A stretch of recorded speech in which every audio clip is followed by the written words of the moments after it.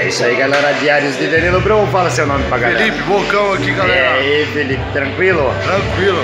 E hoje, inauguração praticamente aqui, um novo ambiente, Novo espaço aí. novo espaço, bonito, com roupas agora, com... Vamos aí, ó.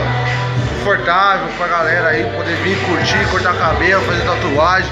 Poder escolher algumas roupas também, Ó, como, por exemplo, é, a da Olha Fit. isso aqui, ó. Da, Fit- da Ó. Fit Five. Nosso amigo Dudu. Legal, legal. A gente tá aí podendo progredir mais, poder fazer mais conforto pra, pra galera, poder fazer o melhor corte possível, poder agradar o cliente. Então a gente fez esse- ambiente mais pra, pra vocês se, se, é, Se sentir em se casa, sentir em né? casa, confortável pra poder. Gente, eu vou mostrar um pouquinho, só pra, pra você ver.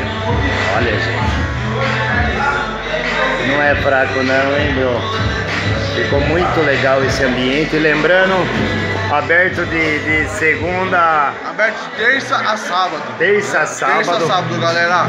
Amanhã a gente vai estar aí já trabalhando normal. E agora a gente vai ficar aí por um bom tempo.